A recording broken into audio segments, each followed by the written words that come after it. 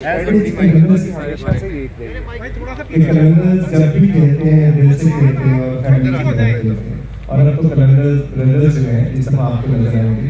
तो फखर जमान जो है वो कलंदर्स की फैमिली का हिस्सा है और फखर कलंदर्स से फखर पाकिस्तान में और कैसे हो सकता है कि कलंदर को जो है जुड़े बाकी ये कि आप लोग से की स्ट्रैटेजी और फखर जितने बड़े प्लेयर और बड़े इंसान हुए वो समझते हैं कि कलंदर जो कोई फैमिली का हिस्सा है तो अगर उसके लिए हमें थोड़ी सी ट्रीट करनी पड़े तो वो उसके लिए रेडी थे और उन्होंने खुद ही कहा था कि मैं रेडी हूँ और इन आप देखेंगे कि वो कलंदर फैमिली का हिस्सा रहेंगे आते भाई राशिद खान का क्या स्टेटस है वो भी बता दें।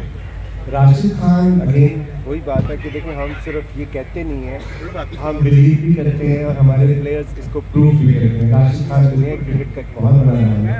और जिस तरह आपने देखा कि किसी भी लीग में वो जाते हैं तो टॉप कैटेगरी में जाते हैं। लेकिन पी एस एल में अभी उन्होंने चूँकि उनकी सर्जरी हुई थी वो फुल फिट नहीं थे तो उनको कहा कि शायद वो अगर रिकवर ना कर सकें।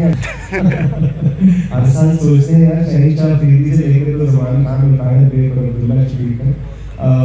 इस साल भी हमारे डेवलपमेंट प्रोग्राम है उसमें काफ़ी तादाद में बच्चे जो है पार्टिसिपेट करते हैं आपको पता है। और हमारे यहाँ परफॉर्मेंस सेंटर में वो ट्रेन भी हो रहे हैं। इंशाल्लाह एक बहुत अच्छा सरप्राइज़ सर्विस न सिर्फ़ अपनी टीम के लिए लोगों को पाकिस्तान में क्रिकेट लवर्स को देगी बल्कि इंशाल्लाह आने वाले दिनों में पाकिस्तान के लिए भी एक आम सितारे के तौर पर काम करेंगे।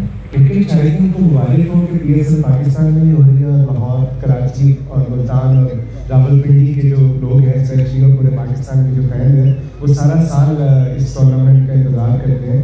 और वो अपने प्लेयर्स को अपने दरमियान खेलते देखना चाहते हैं। और आपको याद है कि जिस तरह दो हज़ार नौ में क्रिकेट हमसे रूट की थी। यहाँ पे टीमें नहीं आई। और फिर पीएसएल की वजह से सारी टीमें पाकिस्तान में आना शुरू हुई और अनफॉर्चुनेटली लास्ट ईयर जो है दिस ईयर जो एशिया कप था वो भी हाइब्रिड मॉडल में चला गया।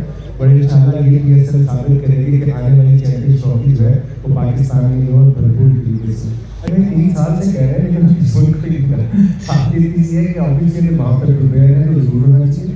इस लीग का कॉन्सेप्ट ही था जब शुरू में ये लीग को लॉन्च किया गया था।